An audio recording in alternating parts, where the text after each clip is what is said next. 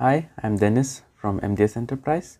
Today, I will show you how we make sure that we get only grade A cells from our suppliers.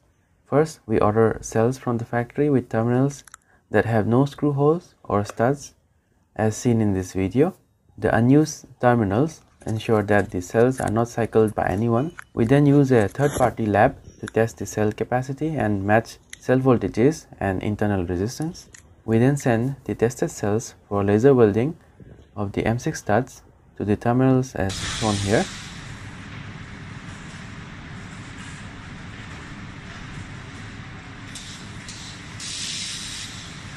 Each cell terminal is then checked properly and BIS is attached. Finally, the cells are packed securely and is ready for shipping to us in India. This is how we make sure that the cells that we get are always grade A so if you want to buy these cells, please contact us. Thank you.